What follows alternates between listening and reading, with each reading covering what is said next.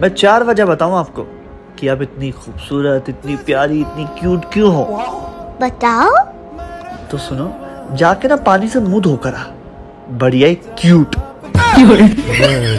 गजब बेइज्जती।